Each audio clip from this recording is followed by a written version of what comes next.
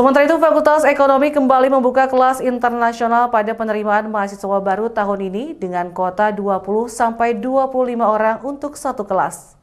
Setidaknya hal itu diungkapkan Dekan Fakultas Ekonomi Uniska dalam sambutannya saat Yudisium Sarjana Program Studi Manajemen Senin 5 Juni 2023. Menurut Farida, kelas internasional ini sebagai salah satu upaya untuk menjadi magnet yang dapat meningkatkan animo masyarakat untuk memilih Vekon sebagai wadah menimba ilmu pengetahuan khususnya ilmu manajemen. Kelas internasional sendiri seyogyanya sama dengan kelas reguler biasa, namun semuanya diajarkan menggunakan bahasa Inggris mulai dari pembelajaran dan modul.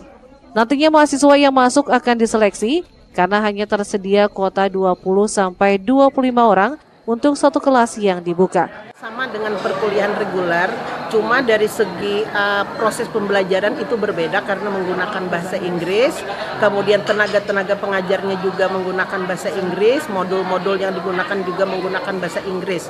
Kemudian mengenai ruangan lebih istimewa dibanding reguler karena dia harus ditunjang dengan fasilitas-fasilitas yang lebih lebih uh, lebih lengkap dibanding kelas reguler. Ada seleksi terlebih dahulu nggak untuk yang kelas internasional ini?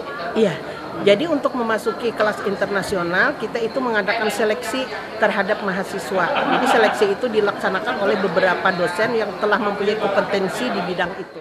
Sampai saat ini sudah ada 285 orang yang mendaftar, sementara Vekon menargetkan 1000 orang mahasiswa baru. Mengingat waktu pendaftaran masih dibuka hingga 19 Agustus mendatang. Eko Anggoro, Banjar TV.